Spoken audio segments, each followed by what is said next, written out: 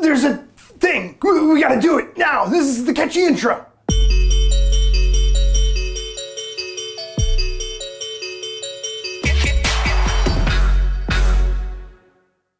Thank you so much for joining me here today.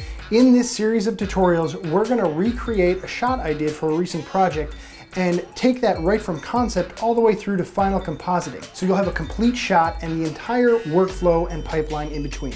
That's Cinema 4D, X Particles, Octane Render, After Effects, and it's all free in this tutorial series. Did I say it's all free? It's all free. I also have a Patreon page, and this is where I'm going to plug that. There you'll have access to this entire series end to end when the final episode is released. You'll also be able to download free Cinema 4D project files and After Effects project files if you'd like to follow along and try this out. All for the low, low price of a cup of coffee. And if you haven't already, be sure to like, share, subscribe, ring the bell, all that bull because you want to be ready and here when the next video in the series is released and maybe we'll make some friends along the way. So this shot is for a project I'm working on where I needed these chains to be shooting off in this almost like a Spider-Man, spiderweb kind of kind of direction. Um, the shot is done in a way to look a little slow motion. So uh, the first thing I was doing was playing around with some dynamic simulations in Cinema 4D to kind of get this look. And I realized a lot of this can be done with the MoGraph effectors natively in Cinema without having to do a heavy dynamic simulation. Luckily, at the same time that I started this shot, Sekani Solomon came out with his 2020 motion design reel, and there's this beautiful shot in the reel that really inspired the artistic direction that I wanted to go for with this shot. I love how his strings here are just full of energy, and I'm not even sure if this is dynamic or not, but the, it captures the intensity that I was going for with my shot. Um, though mine shot it's in slow motion, it, or it's designed to look like it's in slow motion, I really like the organic design of the way his strings are interacting here. I really love the natural look uh, that's provided by the particles in the air to really ground this in reality and take it out of that digital that digital space um, and almost look like it was this surreal kind of thing shot on camera. So we'll be using uh, this this shot here as uh, as reference as we're working along. So what I want to take you guys through is modeling this in Cinema 4D. We'll build the scene out with MoGraph effectors. We'll then do some X particle simulations, texture and light our whole scene, render it out, and bring it into After Effects for final compositing. So here we go. Let's get started. All right, so for starters, what I'm gonna do is build the chain link, which will feed into a cloner object, and then that will help us to build our entire chain length. So uh, what I like to start with when building a chain is the rectangle spline, and it's gonna be a little big to start with, so we'll go over to plane and we'll switch that to XZ. Um, I like having this overhead view so I can work right with the top-down view and make sure all my splines are on the correct plane uh, so it's not um, so it doesn't have any weird rotation or anything like that. And right off the bat, what I want to do is scale this way down. Um, I, this doesn't need to be completely accurate to how it would be in the real world, but um, as far as uh, true scale. But what I'm what I'm doing is trying to get this uh, as close as I can in proportion. So when you look at a chain, you know the the or when you look at a chain link, you know the width is a little bit uh, it's, it's, a little bit thinner than the length. Uh, so I'm at about, uh, I think the height, I play around with like about like four centimeters. Um, just kind of eyeballing it here with my fingers uh, just to try to kind of get a feel for it. Uh, maybe like a, a centimeter and a half on the width. And then what you could do is turn on rounding. And if we crank that up all the way, that's going to be defaulted uh, at the max radius. Um, it, we're already starting to get that chain length. I think it's a little thin. Obviously that's too thick, maybe.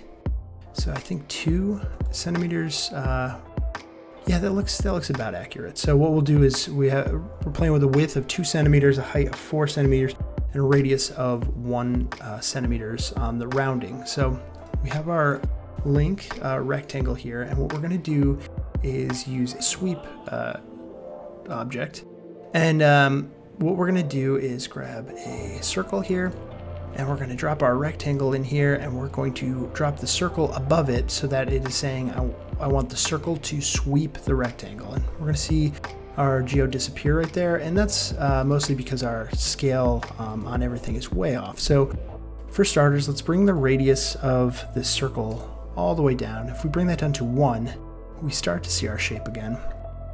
And what we're gonna have to do is play around with the plane. So our rectangle plane is on XZ. So let's get the plane of our circle on XZ as well. And that did not help. This little dance you gotta do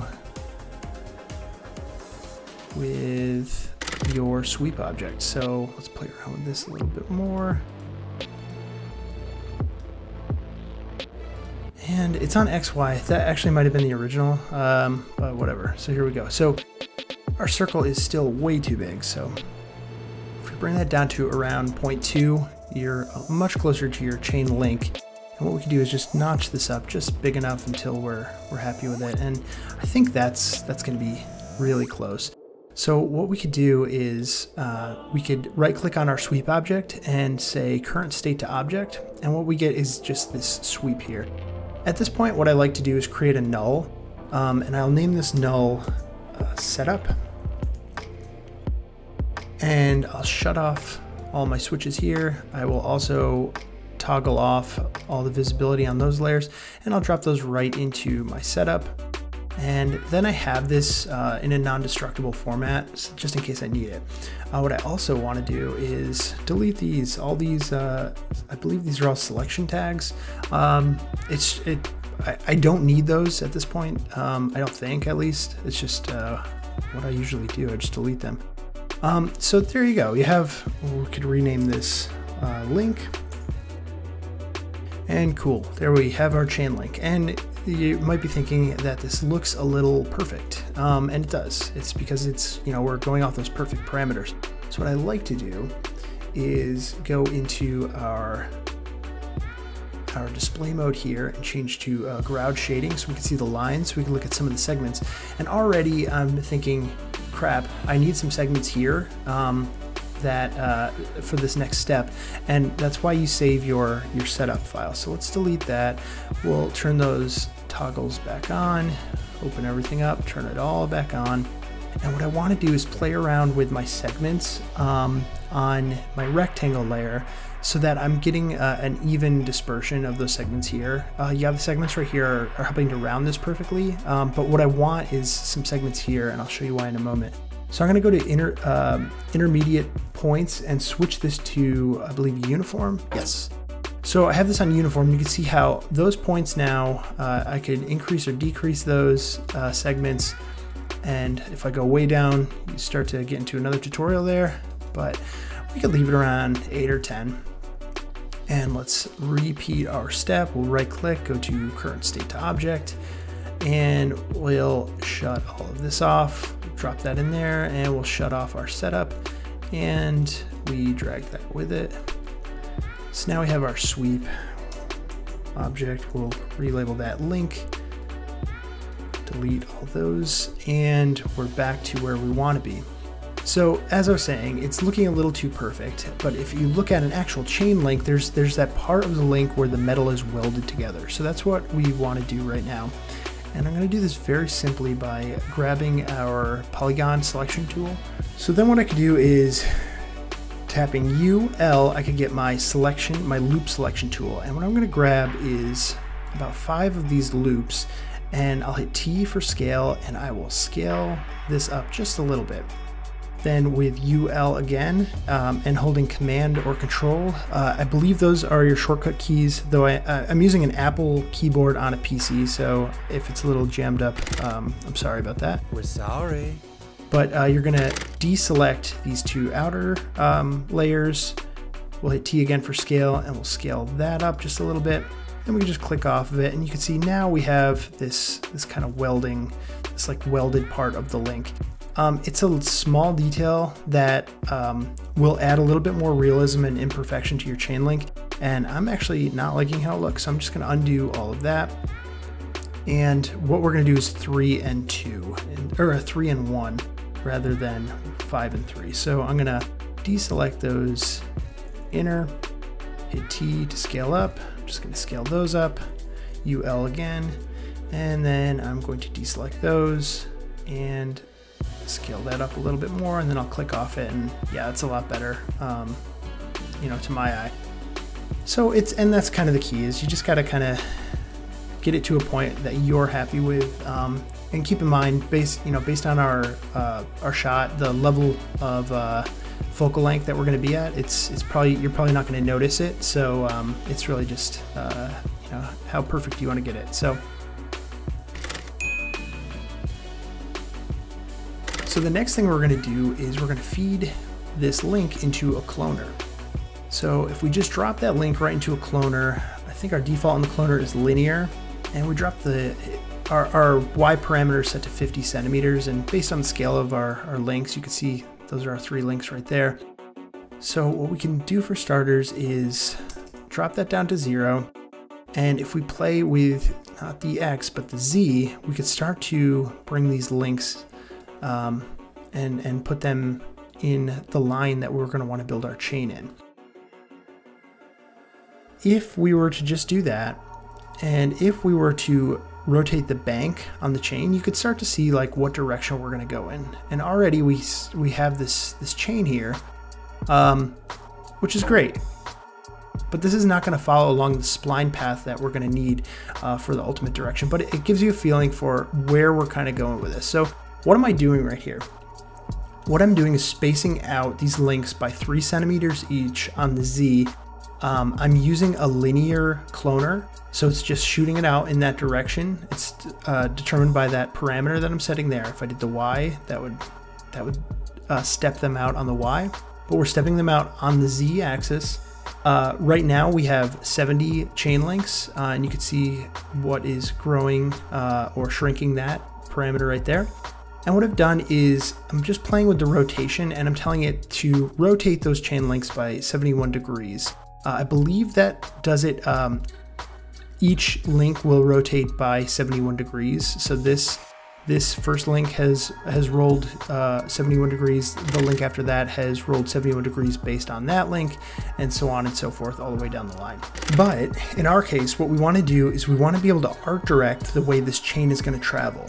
So for, for now, what we're gonna do is zero all of this back out and just stick at one chain link for now. And we'll build the spline in which we want to move this chain along. So what we're gonna do for that is we're gonna grab a helix. Um, this is a helix object. And if we zoom out again, we can see there's our helix. It is very large for our scene. Um, so we're gonna play with this a little bit as well. What we could do already though to start to art direct this is we could change our cloner mode from linear to object. And in the object uh, section right there, I'm just gonna drag the helix and drop it right in there. And already we're seeing our chain duplicated across this helix. And our chain is going based on count and the count is at 10. So if I bump that up to 100, maybe let's go 300, we're starting to see that our chain is our chain links are getting a lot closer together and we ultimately want that back to about where we had it where they're starting to intersect each other uh, which is 800 you know 870 in this case. And then if we start to rotate all those chain links we can you know build our chain in, in that in that way. This chain is absolutely huge for our scene. So let's uh, let's scale this down a little bit. I think ultimately my chains were around a, a 200 count link. Keep in mind, the more chains you're putting in there, it, it might slow down or bog down your system. Um, I know with the uh, cloner set to uh, the instance mode set to, uh, I believe, render instance, it will help to um, lighten the load of your scene.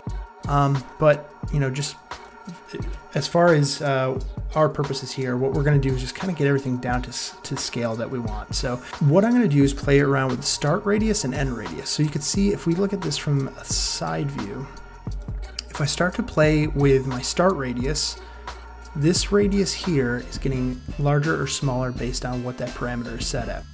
And the effect that I'm going for is I want my chains to you know, if they're going to be moving along this path, I want them to start very wide and then tight, tighten in on each other.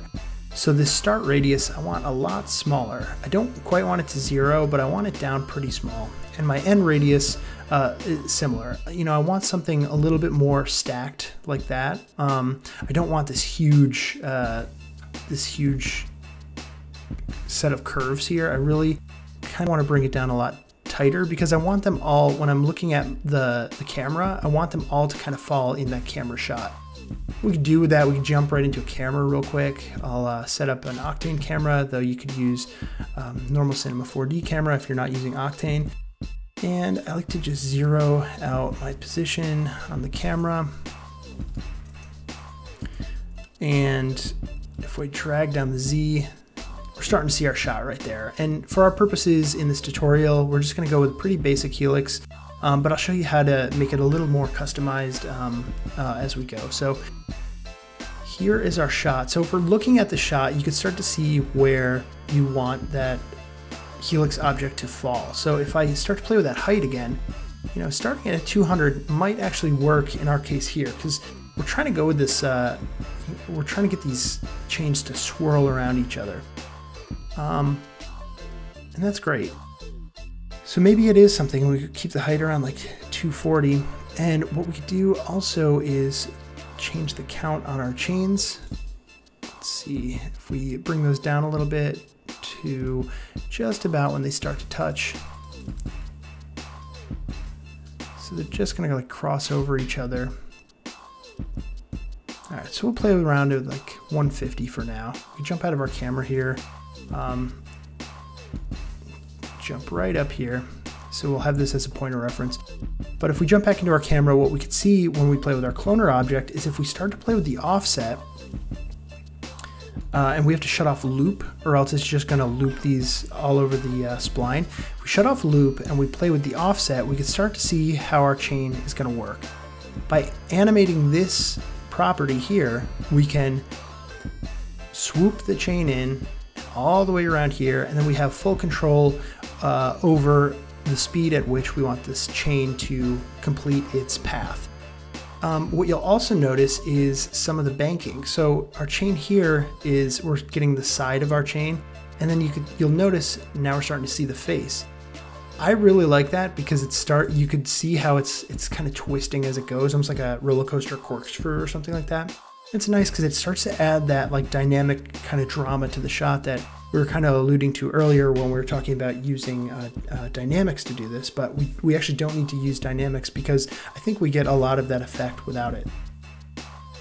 What I like to do for setting uh, up the scene is keeping that offset on zero, um, but it's always there to play with in case I'm questioning how I, how, how I kind of want to apply things that gives you the, the idea of how you could frame your shot. And I'm not liking this huge gap here where it gets really tight. So I'm gonna go back into my Helix object and I'm just gonna change this up a little bit. What I'd like to do is get that a little tighter. And what I'd also like to do is if I jump back into the side view here, I could play with my end angle and this will influence how much twist is in each line. I could really crank that up and get a lot of twist going and it starts on a default of uh, 720, 720 degrees. Um, but if let's if we increase that up, we'll get a couple more twists in there, and then we're gonna adjust our just our height. We can adjust our height bias, so you can see how you can start to play with all of these little parameters to just kind of art direct your your shot to get it exactly where you want it. So I'm gonna go about there, I believe and we'll jump back into our scene and then let's move our camera on the RZ. Let's move that up. You know what, we might just want to change our camera. Um, so if we go into our camera and we go into object, let's change our focal length to, I think, uh, something a little bit more uh, portrait. Uh, portrait's a nice, uh, or, or uh, telephoto. What I really want to do is compact um, a lot of the shots so it seems a lot closer to each other because uh, you'll get a really nice depth uh, blur when you do that as well, uh, especially if you're going to be chasing um, if you're going to be chasing the chain. I'm realizing now all of this is kind of moot because this isn't even the shot we're going for. What we're ultimately going for, as I'm going to duplicate this camera out, and really we're going for this type of shot here. So let's set up our camera for these purposes. Um, what I'll do, probably frame it here because we want this, I'm gonna toggle this camera off just so I don't see the bounds of the camera in the, in the shot. But what I want to do is I want this this directional kind of move. So again, if I'm playing around with the offset on the chain, I could start to get a sense of where that chain is shooting shooting into the scene. Think what I'll do is go into my coordinates and play with my banking on my on my camera a little bit, and we'll just kind of place that shot about where we want it. And this is where we get to art direct our chain a little bit more. So we'll play with the height of um, the chain, which is going to affect the overall length of the spline, and we'll play around with our with our end radius and that will influence this tightness here and let's play around with our end angle to see how many curls we can get in there. And for this purpose uh, of this tutorial, let's let's just go with that. So we get a couple loops in there. And now we're back to uh, we're about back to where we want our chain. All right, nice. So let's get the chain actually looking like a chain.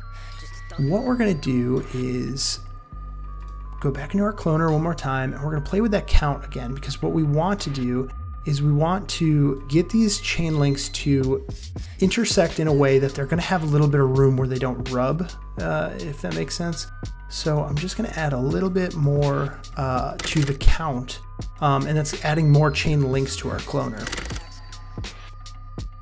And we'll play with about 170 right now. And what we're gonna do to, to get that rotation is we're gonna, with our cloner selected, we're gonna go into our MoGraph objects and we're gonna go to formula. And with formula, where did everything go, right? So if we look back, um, if we look back at our chain and if we jump into this view, um, we'll take a look here. We can see our chain is all sorts of weird stuff's going on. What formula is doing is the default is we have a formula plugged right into the default of this. And what it's doing is it's affecting the position, it's affecting the scale. All we want is it to affect the rotation. So we're gonna undo the position checkbox, we're gonna undo the scale, and what we are gonna do is check the rotation checkbox. And with that rotation checkbox selected, what we're gonna do is affect the banking. We're gonna put that up to about 110 degrees. And still, it's we're not quite where we need to be, right? We're, our chain is not moving, and that's because we have a formula plugged into this. I'm not sure why, but if you type in ID, delete the formula in there, you type in ID, um, that is how I discovered how to use this uh, in looking it up. And uh, what happens is now you see magically the formula that's being applied is just rotating the chain, you know, uh, each link by 110 degrees. And this is where I was talking about um, distancing the chains more appropriately. And we're going to do that by adding more or less chains to our cloner. If we jump that up to, you can see the more chains we add to it, the further those that gap in the link, uh, the larger that gap becomes. Like if we did that to like 250, you can see they're really, this link and this link are starting to actually crash into each other. If we brought it down to like 100, they're not quite touching. So you just want to find that sweet spot where they look like they're just kind of latched in on each other, latched in on themselves there, and latched in in a way that it's not clipping through one another. So maybe like 150, sure. And at the, you know, if we go back to our shot here, our shot is not in a way that, our shot is not set up in a way that we're going to see any clipping or anything like that. So you're probably pretty good there. The last thing that we might want to do uh, to kind of art direct this a little bit and add a little bit more randomness to it is with a random effector. So we're going to grab our cloner, we're going to go to uh, random, and already that's uh, not what we want. So we'll go over to parameter, we're going to unclick the position, and we are just going to play around with that banking a little bit more. And what we're going to do, you can see this very slight change is it's randomizing the uh, rotation of each link. So I'm just going to set that, uh, I would say anything uh, underneath like 8 degrees. What that'll do is just give you just a slight randomness link to link without uh, getting it so, like if you randomize it too much, you're going to get these issues where the links are like clipping there.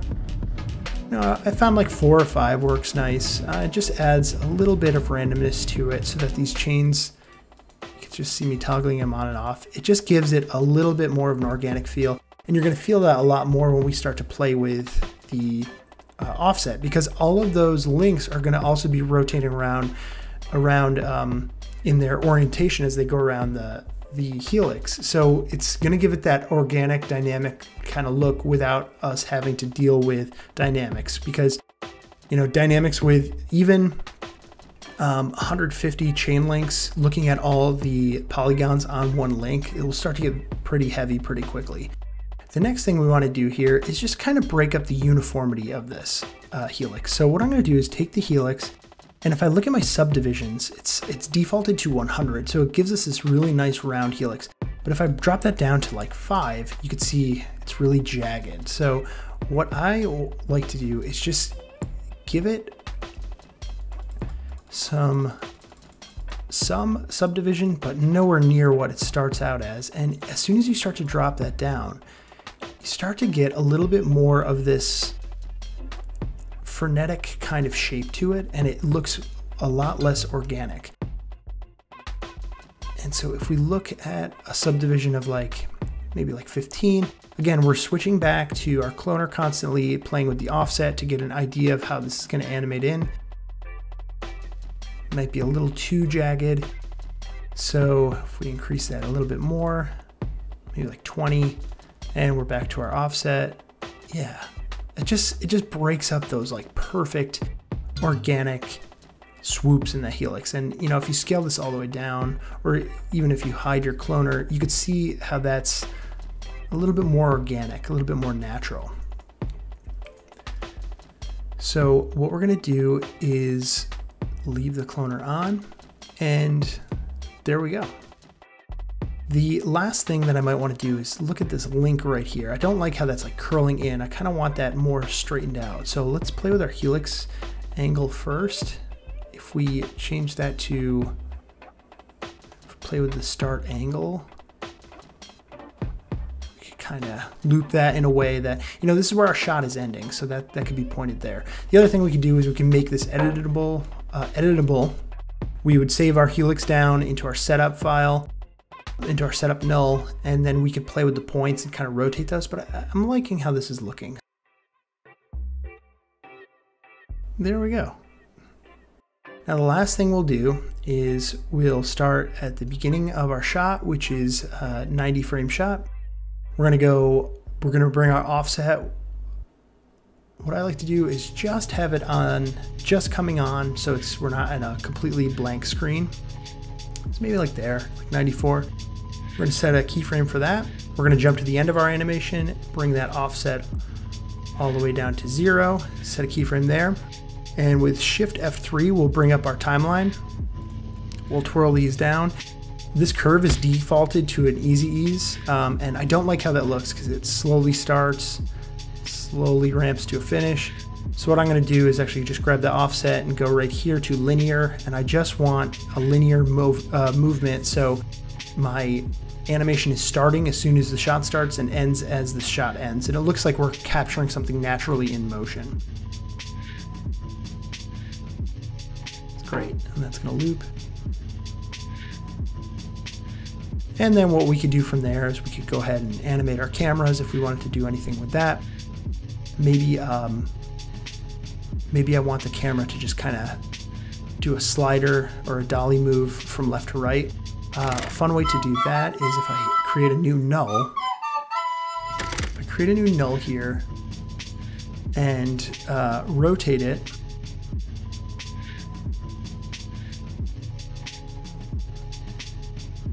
roughly like that. What I'm just trying to do is get it roughly uh,